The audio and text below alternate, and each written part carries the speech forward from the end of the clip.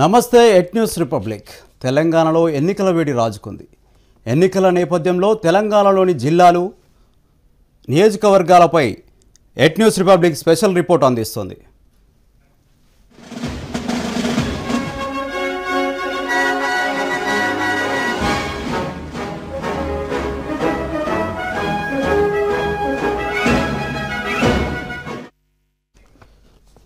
ఎన్నో చారిత్రక ఆనవాళ్ళకు కేంద్రం తెలంగాణ.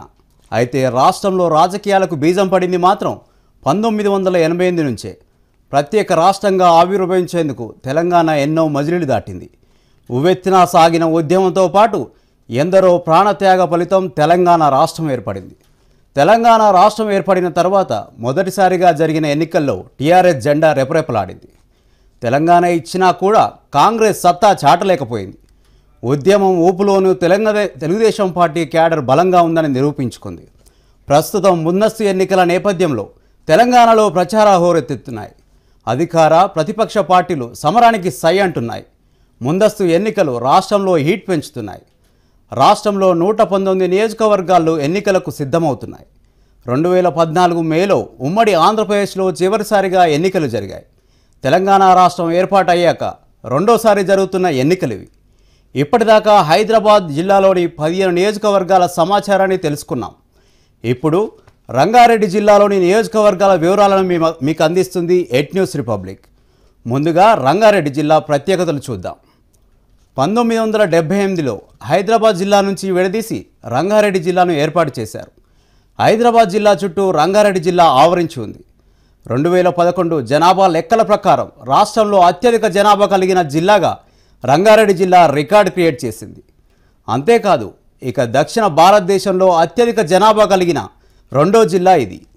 కీసర లింగేశ్వరాలయం అనంతగిరి కొండలు చిలుకూరు బాలాజీ కీసర లాంటి పుణ్యక్షేత్రాలు రంగారెడ్డి జిల్లాలో ఉన్నాయి. ఈ జిల్లాలో ప్రవహించే ప్రధాన నది మూసీ నది. దేశంలోని పొడవైన ఏడవ నెంబర్ జాతీయ రహదారి ఈ జిల్లాలోనే ఉంది. గ్రేటర్ హైదరాబాద్కు చెందిన నూట యాభై డివిజన్లలో నలభై ఎనిమిది డివిజన్లు రంగారెడ్డి జిల్లాకు చెందినవే. జిల్లాలో ముప్పై ఏడు మండలాలు మూడు రెవెన్యూ డివిజన్లు రెండు లోక్సభ నియోజకవర్గాలు ఎనిమిది అసెంబ్లీ నియోజకవర్గాలు. ముందుగా రాజేంద్రనగర్ నియోజకవర్గం గురించి తెలుసుకుందాం.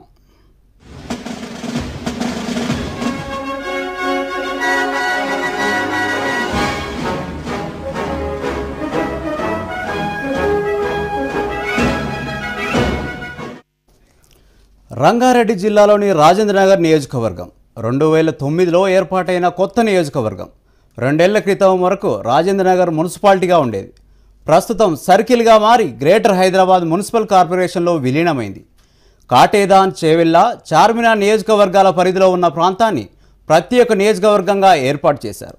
రాజేంద్రనగర్ రీసెర్చ్ సెంటర్కు నిలయంగా మారింది. ఈ నియోజకవర్గం పరిధిలోనే శంషాబాద్ ఇంటర్నేషనల్ ఎయిర్పోర్ట్ ఉంది. అంతేకాదు ఆసియా ఖండంలోనే ప్రత్యేక గుర్తింపు పొందిన పరిశోధన రంగ రాజేంద్రనగర్లో సొంతం.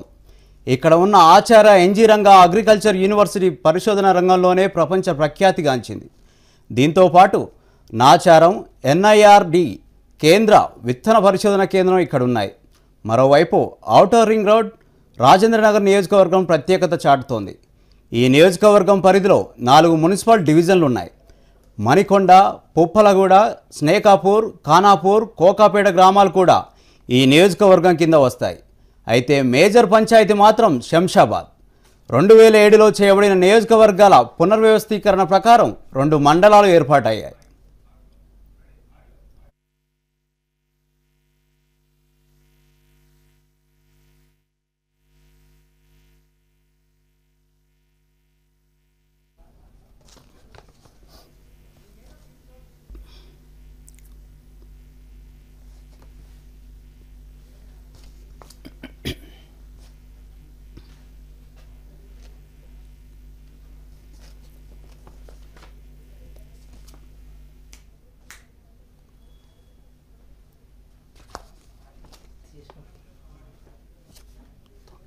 啊，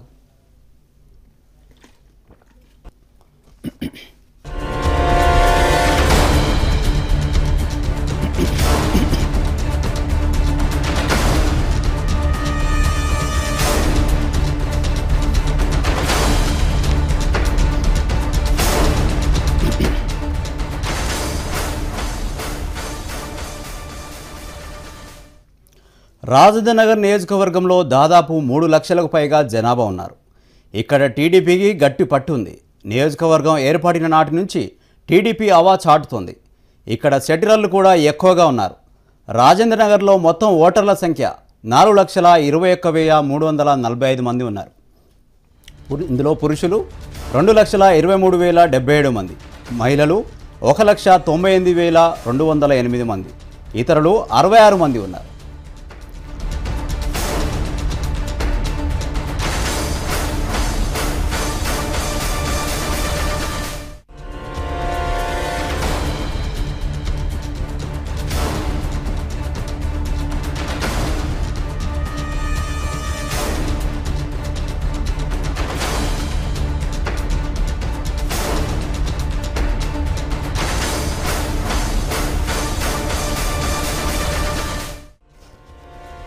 కొత్తగా ఏర్పాటైన నియోజకవర్గం కావడంతో రెండు వేల తొమ్మిది నుంచి ఇక్కడ ఎన్నికలు జరిగాయి. అయితే రెండు వేల తొమ్మిదిలో టీడీపీ నుంచి పోటీ చేసి గెలిచిన ప్రకాష్ గౌడ్ టీఆర్ఎస్ కండవ కప్పుకున్నారు. రెండు వేల పద్నాలుగులో టీఆర్ఎస్ తరఫున పోటీ చేసి గెలిచారు. ఈ ఎన్నికల్లోనూ టికెట్ దక్కించుకున్న ప్రకాష్ గౌడ్ బరిలో ఉన్నారు. ఈ నియోజకవర్గంలో టీడీపీ క్యాడర్ ఉండడంతో మహాకూటమి టీడీపీ అభ్యర్థినే బరిలోకి దింపే అవకాశం ఉన్నట్టు తెలుస్తోంది. అయితే కాంగ్రెస్ కూడా పట్టు ఉండడంతో కూటమి నుంచి ఎవరు పోటీలో ఉన్నారన్న దానిపై ఆసక్తి నెలకొంది. ఇక బీజేపీ విషయానికి వస్తే అభ్యర్థిని ఇంకా ఖరారు చేయలేదు. ఈ నియోజకవర్గంలో టీఆర్ఎస్ కూటమి మధ్య పోటాపోటీ ఉండే అవకాశం ఉంది.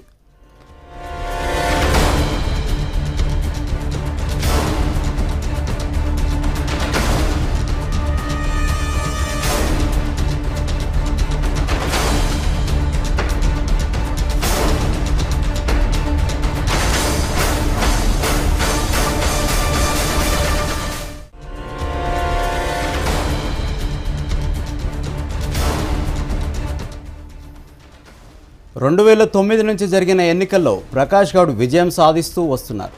గత ఎన్నికల్లో టీఆర్ఎస్ అభ్యర్థిగా బరిలోకి దిగిన ప్రకాష్ గౌడ్ కాంగ్రెస్ అభ్యర్థి జ్ఞానేశ్వర్పై విజయం సాధించారు.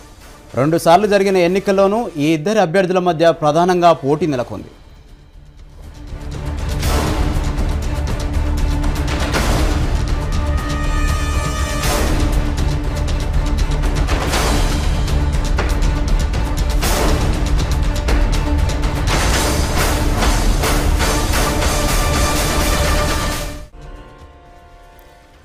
ఎల్బీనగర్ కొత్తగా ఏర్పడిన నియోజకవర్గం.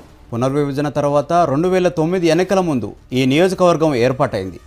కొత్తపేట నాగోల్ బండ్లగూడ మున్సరాబాద్ హయత్ నగర్ సాహెబ్ నగర్ కర్మాన్గఢ్ చంపాపేట్ బహదూర్గూడ గడ్డన్నారం సరూర్ నగర్ పంచాయతీలతో మొదట మున్సిపాలిటీగా ఏర్పడింది. ఆ తర్వాత నియోజకవర్గం పునర్విభజనతో సరూర్ నగర్ మినహా మిగతా గ్రామ పంచాయతీ పరిధి కలిసి నియోజకవర్గంగా మారింది. బహదూర్గూడ చౌరస్తాకే లాల్ బహదూర్ చౌరస్తాగా మారింది. అక్కడ కొత్తగా ఏర్పడిన కాలనీ లాల్ బహదూర్గానే షార్ట్కట్లో ఎల్బీనగర్గా పిలుస్తారు. అదే పేరు మొదట మున్సిపాలిటీకి ఆ తర్వాత నియోజకవర్గానికి వచ్చింది. దక్షిణ భారత్లోని ఖనిజ వనరులు భూగర్భ వనరులు మ్యాపింగ్ గనుల గుర్తింపు శిలాజాలు పురాతన అంశాలపై విశేషంగా కృషి చేసే జియోలాజికల్ సర్వే ఆఫ్ ఇండియా సంస్థ బండగూడలో ఉంది. సుమారు రెండు వందల ఎకరాల స్థలంలో జిఎస్ఐ ఆవరించి ఉంది. దక్షిణాది రాష్ట్రాలకి కేంద్రంగా జిఎస్ఐ పనిచేస్తుంది. సుమారు రెండు వేల మంది శాస్త్రవేత్తలు ఇతర అధికారులు సిబ్బంది దీంట్లో పనిచేస్తున్నారు. నగరానికి తలమానికంగా సరునార్ ఇండోర్ స్టేడియం ఈ నియోజకవర్గంలో ఉంది. జాతీయ అంతర్జాతీయ స్థాయి క్రీడలకు ఎల్బీనగర్ వేదిక. జిమ్నాస్టిక్ రన్నింగ్ హాకీ షటిల్ చదరంగం లాంటి అనేక ఆటల్లో ఇక్కడ శిక్షణ ఇస్తున్నారు. శాప్ ఆధ్వర్యంలో ఈ స్టేడియం నడుస్తుంది. ఇక గడ్డెన్నారం మార్కెట్ రాష్ట్రంలోనే అతిపెద్ద పండ్ల మార్కెట్. ఈ నియోజకవర్గంలో మొత్తం ఎనిమిది డివిజన్లు రెండు మండలాలు ఉన్నాయి ఎల్బీనగర్ గడ్డెన్నారం మున్సిపాలిటీలుగా ఉండేవి. రెండున్నర ఏళ్ళ క్రితం హైడ్ర గ్రేటర్లో విలీనమయ్యాయి.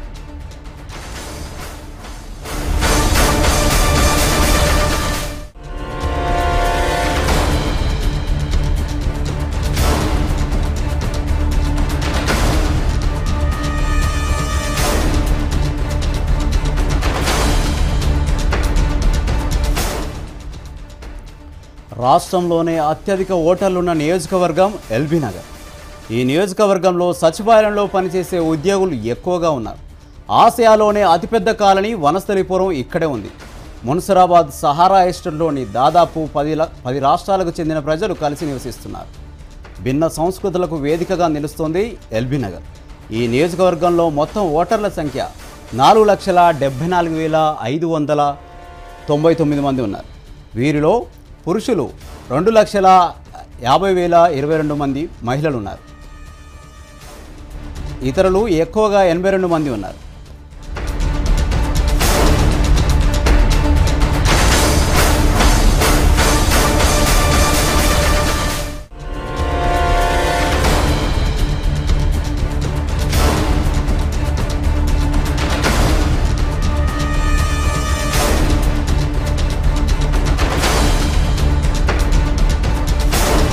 జరిగిన ఎన్నికల్లో కాంగ్రెస్ పార్టీకి చెందిన సుధీర్ రెడ్డి గెలుపొందారు. రెండు వేల పద్నాలుగు ఎన్నికల్లో టీడీపీనే గెలిచింది. ఎల్బీ నగర్లో తెలంగాణ ప్రజానీకంతో పాటు సెటిలర్లు కూడా ఎక్కువగా ఉన్నారు. గత ఎన్నికల్లో ఉద్యమ సమయంలోనూ టీడీపీ క్యాడర్ చెక్కు చెదరకుండా ఉంది. అందుకే ఈసారి కూడా ఇదే స్థానం నుంచి తమకు ఇవ్వాలని టీడీపీ కాంగ్రెస్ను అడుగుతోంది. ఇక టీఆర్ఎస్ విషయానికి వస్తే ముద్దగోని రామ్మోహన్ గౌడ్ అభ్యర్థిగా బరిలోకి దిగనున్నారు. బీజేపీ నుంచి పేరాల చంద్రశేఖరరావు పోటీ చేయబోతున్నారు. ఈసారి ఎన్నికల్లోనూ హోరాహోరీ పోటీ అవకాశం ఉంది.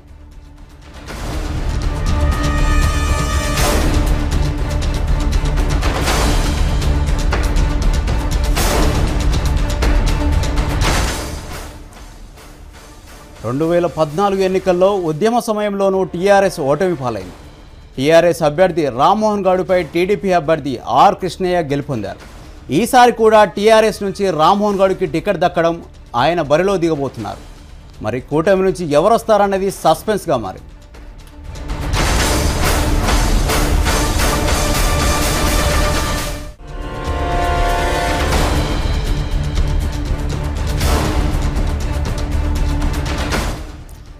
ఇక ఇబ్రహీంపట్నం.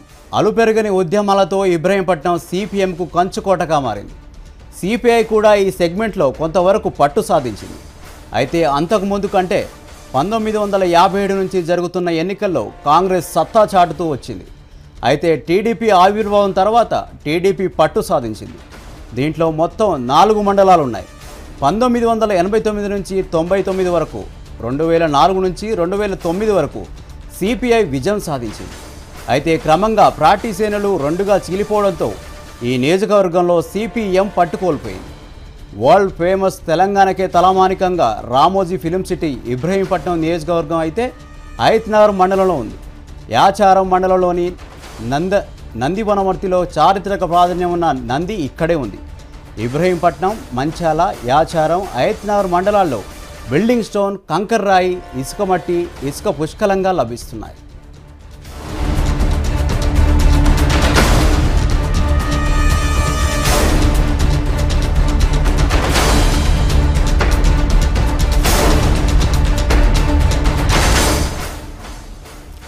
ప్రస్తుతం ఇబ్రహీంపట్నం నియోజకవర్గంలో దాదాపు మూడు లక్షలకు పైగా జనాభా ఉన్నారు. ఇక మొత్తం ఓటర్ల సంఖ్య రెండు లక్షల యాభై వేల రెండు వందల తొంభై తొంభై ఒక్క మంది ఉన్నారు. వీరిలో పురుషులు పన్ ఒక లక్ష ఇరవై ఎనిమిది వేల మూడు వందల నలభై ఐదు. మహిళలు ఒక లక్ష ఇరవై ఒక్క వెయ్యి తొమ్మిది వందల ఇరవై ఐదు. ఇక థర్డ్ జెండర్ ఇరవై ఒక్క మంది ఉన్నారు.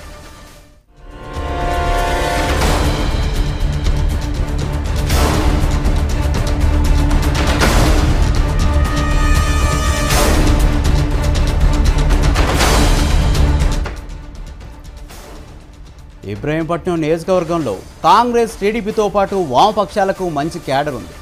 అన్ని పార్టీలు పోటాపోటీగా ఉన్నాయి. గత ఎన్నికల్లో టీడీపీ తరఫున పోటీ చేసిన మంచిరెడ్డి కిషన్ రెడ్డి కారెక్కారు. ఈ ఎన్నికల్లో టీఆర్ఎస్ తరఫున బరిలోకి దిగబోతున్నారు.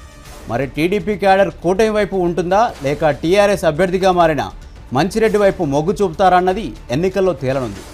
మరోవైపు కూటమిలో భాగమైన టీజేఎస్ అధినేత కోదరామ్ కోదండరాం కూడా ఈ నియోజకవర్గం నుంచే పోటీ చేసే అవకాశం ఉన్నట్లు తెలుస్తోంది.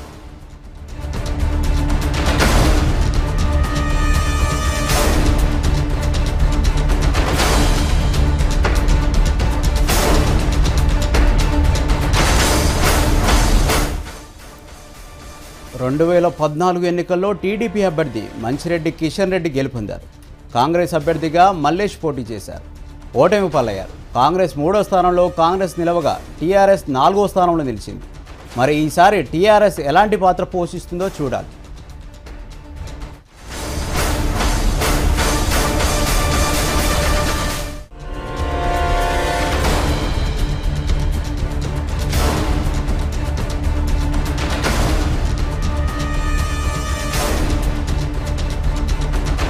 ఇక మహేశ్వరం. మహేశ్వరం నియోజకవర్గం కందుకూరు సరూర్ నగర్ మహేశ్వరం మండలాల పరిధిలో ఏర్పాటైంది. నియోజకవర్గ పునర్విభజన తర్వాత రెండు వేల తొమ్మిది ఎన్నికలకు ముందు మహేశ్వరం నియోజకవర్గంగా నిర్మాణమైంది. ఇది రంగారెడ్డి జిల్లా మరియు మహబూబ్నగర్ జిల్లాల సరిహద్దులో ఉంది. ఈ నియోజకవర్గానికి చరిత్రలో విశిష్ట స్థానం ఉంది. చారిత్రక కట్టడాలు శివగంగ రాజరాజేశ్వర ఆలయ పరిసర ప్రాంతాలు పర్యాటక కేంద్రాలుగా రూపుదిద్దుకున్నాయి. ప్యాబ్ సిటీ ఔటర్ రింగ్ రోడ్డుతో మహేశ్వరంకు గుర్తింపు రావడంతో సినీ పరిశ్రమ కన్ను దీనిపై పడింది. ఈ మధ్య సినీ షూటింగులు షార్ట్ ఫిల్మ్లకు వేదికగా మారింది. మరోవైపు నాటి పాలనకు సంస్కృతికి దర్పంగా పడుతూ చారిత్రక అవశేషాలుగా మిగిలిన కోటలలో గడి గడికోట ప్రత్యేకమైంది. రాష్ట్ర రాజధానికి దగ్గరగా ఉండటం రియల్ ఎస్టేట్ భూమితో ఇక్కడి పరిస్థితులు ఒక్కసారిగా మారిపోయాయి. ఈ తరుణంలోనే సినిమా పెద్దలను ఆకర్షించింది. ఈ ఈ కోట పలు చిత్రాలు ఇక్కడ షూటింగ్లు జరుపుకుని విజయవంతమయ్యాయి. గడికోట మహేశ్వరం నియోజకవర్గం కందుకూరు సరూనగర్ మహేశ్వరం మండలాల పరిధిలో ఏర్పాటైంది. ఈ నియోజకవర్గంలో ఐదు మండలాలు ఉన్నాయి మహేశ్వరం సరూనగర్ కందుకూరు మండలాల్లో బిల్డింగ్ స్టోన్ కంకర్ రాయ్ ఇసుకమట్టి క్వాడ్జ్ ఫీల్డ్ స్పార్ లాంటి ఖనిజాలు లభిస్తున్నాయి.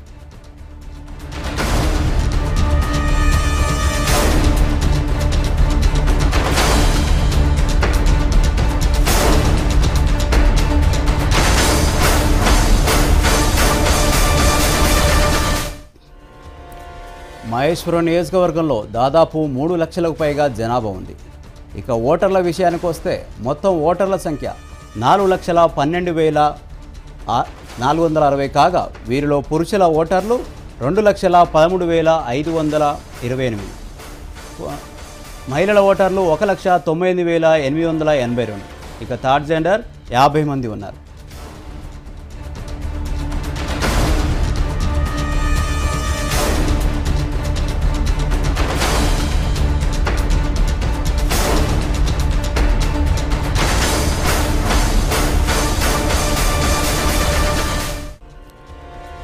రెండు వేల తొమ్మిది నుంచి ఈ నియోజకవర్గంలో ఎన్నికలు జరుగుతున్నాయి.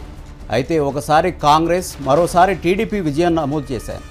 రెండు వేల తొమ్మిదిలో కాంగ్రెస్ పార్టీ నుంచి పోటీ చేసిన సబితా ఇందిరారెడ్డి గెలుపొందారు. ఇక్కడ కాంగ్రెస్తో పాటు టీడీపీ కూడా మంచి క్యాడర్ ఉంది. ఉద్యమ ఊపులో జరిగిన ఎన్నికల్లోనూ టీడీపీ గెలుపొందిందంటే అర్థం చేసుకోవచ్చు. దీంతో ఇక్కడ టీడీపీకి మంచి పట్టుంది. అయితే టీడీపీ తరఫున పోటీ చేసి గెలిచిన తీగల కృష్ణారెడ్డి టీఆర్ఎస్ తీర్థం పుచ్చుకున్న సంగతి తెలిసిందే. అయితే ప్రస్తుతం ఈసారి ఆయనే టీఆర్ఎస్ తరఫున పోటీ చేయబోతున్నారు. కూటమి నుంచి ఎవరు బరిలో దిగుతున్నారన్నది ఆసక్తికరంగా మారింది. కాంగ్రెస్ నుంచైనా టీడీపీ నుంచైనా అభ్యర్థి బరిలో దిగితే టీఆర్ఎస్కు గట్టి పోటీ ఎదురయ్యే అవకాశం ఉంది. దీంతో పోటీ ఆసక్తికరంగా మారింది.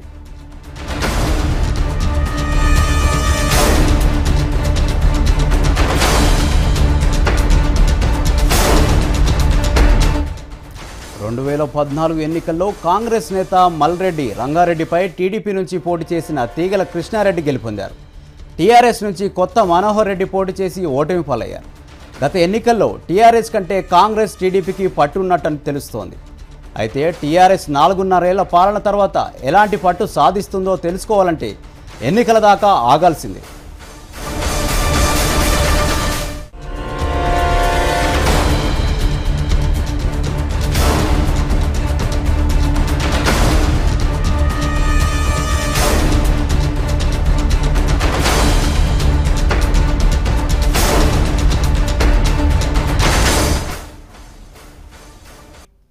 ఇది ఇవాల్టి క్షణ తెలంగాణ రణక్షేత్రం. Keep watching at news republic